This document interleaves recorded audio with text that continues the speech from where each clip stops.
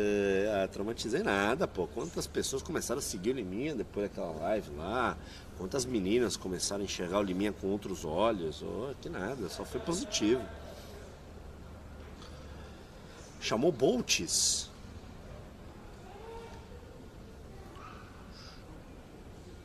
Entre nós aqui. Entre nós. Teve um dia lá, o Boltz estava meio bêbado. Chamei e ele topou. Mas ele tava bêbado, não sei se ele vai lembrar.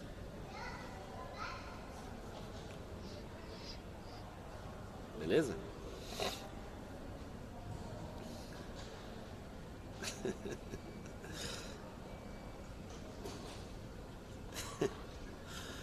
e o FNX